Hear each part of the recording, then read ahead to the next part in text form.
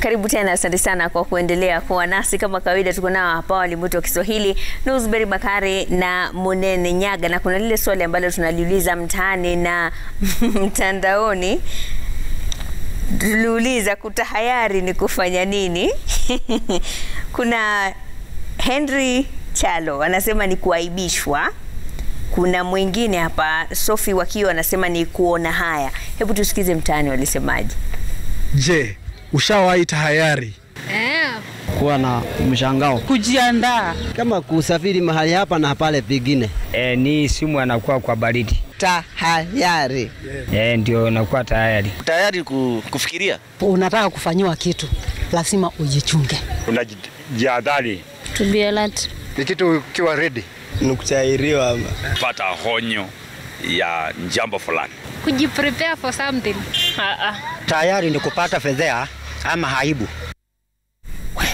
Bakari. Aise, kuna huyo bwana huyo mzee wa mwisho huyo, kwa kweli ameitoa vizuri sana. Ni ile hali ya mtu kwamba unaaibika au umefanya kitu kikakupatia fedheha kubwa. Umefanya jambo kwenye jamii halikubaliki, jambo ambalo kwa kweli ni kinyume cha tamaduni, mila na desturi za watu wa pale. Kwa hivyo kile ile fedheha ile ndio tahayuri au tahayari. Bingwa wa mifano. Mfano katika sentensi. Mfano, mtu akikufanyia kitu ambacho ni cha aibu sana, nasema mpenzi wangu, sikutarajia mimi mm. angenifanyia unyama kama ule, mm -hmm. ila nikiona mwanamke yoyote mm. hata mashirima mm. na tahayari mm -hmm. eh. Na pia sasa huyo mpenzi ambaye hujamwoa mm -hmm. ataitwaje? E, mpenzi ambaye awe mme au mke ambaye haja hujamuoa na hajaolewa anaitwa mchuchu. mm -hmm. Au pia hiyo mchuchu ni mtu ambaye anapendwa sana na wengine. mm -hmm. Unajua, mnaweza kuwa watu kumi, lakini kuna vile kwenye watu kumi nyie mmoja wenu anapendwa zaidi na wengine. ndio mtaani wanamuita mpango. E, kama mtaani wanamuita hivyo, lakini kwa Kiswahili sasa huyo ndio mchuchu.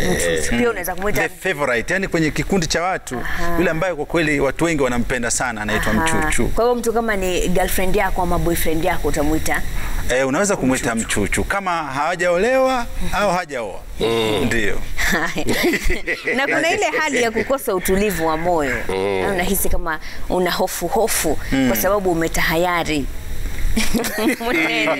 Unapa, unapata matukulele. Bakari anapenda sana hilo neno kwa sababu mtu akikufanyia kitu cha aibu ukatahayari ya, yani wasiwasi tu, na sana sana kumbuka hadhi yako katika jamii mm. ndio inayozidisha matukulele yako. Mtu ambaye hana hadhi yoyote mm -hmm. aoni aibu, anauza ah, mlikuwa mnadhani mimi nitapata aibu Muwe nta- tena na tena, lakini kwa sababu una hadhi mm. ama labda pia ni mtu ambaye kwa kweli watu nao wewe ni- wewe ni mcha Mungu, alafu kisha mm. ukaje ukapatikana kwa mambo ambayo ah, Mm, si ya kawaida sana. matukulele sasa yanakumaliza kabisa. Mfano mzuri labda ni kama mimi na Mnene tuko mahali tunajua tumefanya kosa na imekuwa siri baina yetu na hakuna mtu anataka kusema. Aje mtu sasa akifanya udadisi kuhusu swala hilo, ima Munene au mimi nitakuwa kwenye hali ya matukulele.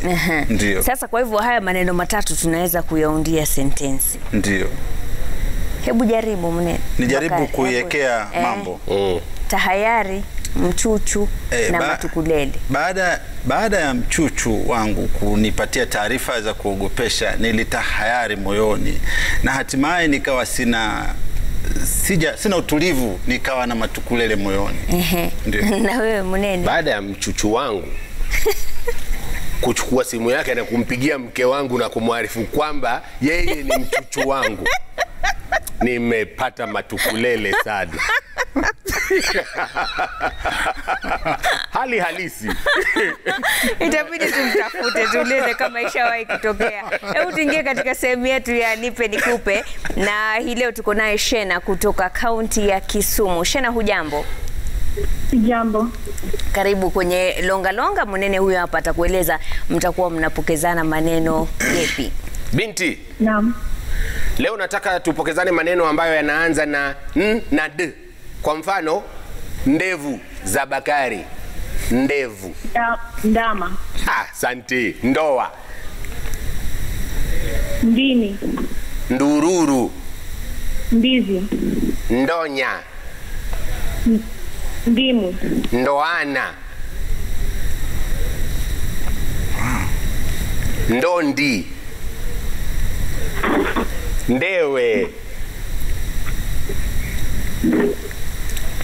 Kwisha. Amejaribu lakini. Amejaribu, lakini. amejaribu sana. amejaribu sana Shena, asante sana kwa kushiriki nipe nikupe, lakini kuna jambo moja lazima tulikosoe. Naam. Wiki iliyopita Munene alituchezea Alituchezea shere Mnene. na akamchezea pia yule mtoto kabisa. maana ilikuwa maneno yanaisha na o. o na akaanza kusema mo ko do. Sasa hizo hapana. Eh, na wa- wakati mmoja mmoja pia upitikiwa lazima labda na Labda Bakari asitete, hata yeye pia soko hilo hilo ashatuingiza mara nyingi sana, lakini mimi namhurumia. Sasa itabidi tutafute kiboko kwa sababu ni darasani hapa. tunamtandika, sana. Eh. Haya, Bakari, tuambie shairi la leo linahusu nini? Ahlan wa sahlan wa marhaban bikum, mpenzi mtazamaji, mahala popote ulipo, umetimu wakati leo ni kupeni shairi kuhusu tabia za watoto. Watoto wetu wamekosa adabu na nidhamu. Nimewatungia shairi. Nakumbuka zama zetu za miaka ya tisini kwa kumbi za shule yetu nje hadi darasani, heshima likuwa kitu cha muhimu chenye shani. Enyi watoto wa shule, idumisheni nidhamu.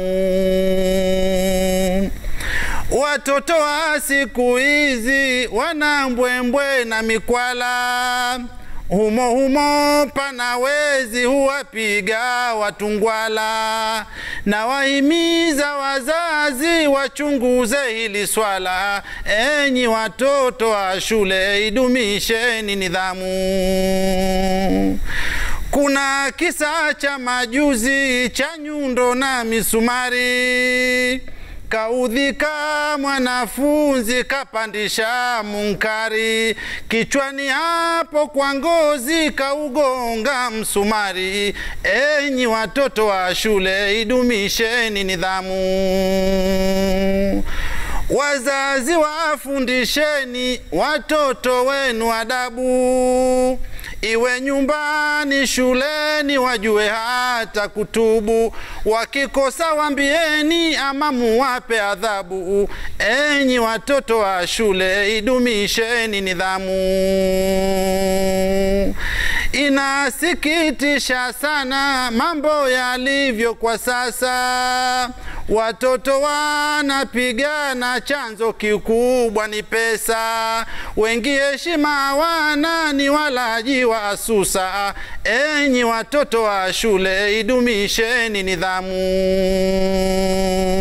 Enyi watoto wa shule, idumisheni nidhamu. Shukran sana Bakari, bila shaka hilo ni shairi ambalo kuna mtazamaji wetu mmoja kutoka Mombasa alisema, jamani, watoto wamekosa adabu, watungieni shairi. Haya, asante, ndio hilo hapo tumekupa. Naitwa Mashirima Kapombe kwa niaba ya wote waliofanikisha taarifa hizi na kutakia usiku mwema.